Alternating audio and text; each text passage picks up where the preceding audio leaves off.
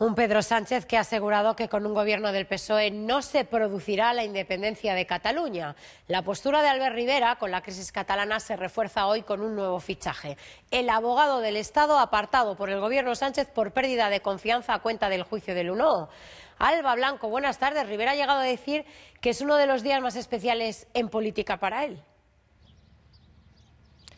Buenas tardes. Sí, porque dice Edmundo Val que es un héroe que ahora suma como número cuatro esa larga lista de independientes con la que Rivera quiere representar a la ciudadanía. Edmundo Val, con más de 25 años de experiencia al frente de la abogacía del Estado, dice que fue cesado por negarse a mentir por una decisión arbitraria y por intentar mantenerse fiel a una honradez que ahora sí encuentra en Ciudadanos. Para Rivera, Val pertenece a esa purga, asegura que ha iniciado Sánchez para aliarse a gente como Torra. Por cierto, que el presidente de Ciudadanos desde aquí ha vuelto a retarse en un cara a cara con Pedro Sánchez.